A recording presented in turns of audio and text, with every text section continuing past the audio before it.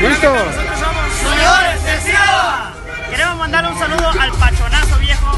Pachón! que siga con la pendina al 100, anda con todo el torón. Hay próximamente entrevistas todos bien. viejos. la entrevista por ahí con el Pachón que anda por todo México el viejo.